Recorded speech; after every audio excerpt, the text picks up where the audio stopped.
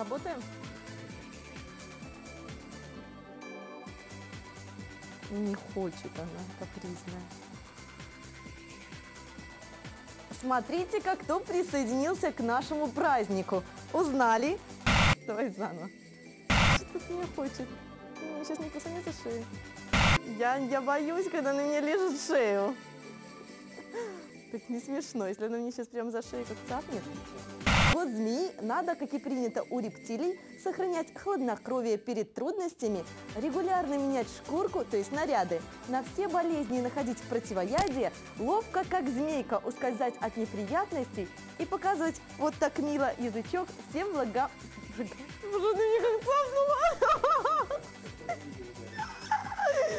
Мамочка!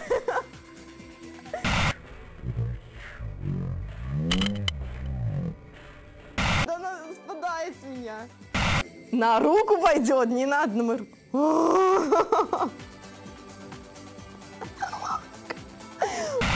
Смотрите, как кто присоединился к нашему празднику. Узнали?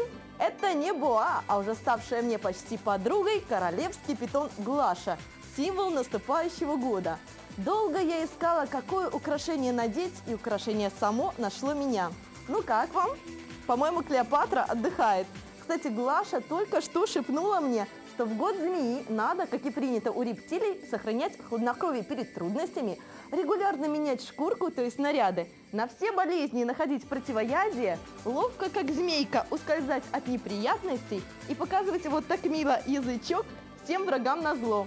Вот такое пожелание от этого чудесного символа наступающего года. Я уверена, оно обязательно сбудется. Правда, Глаша?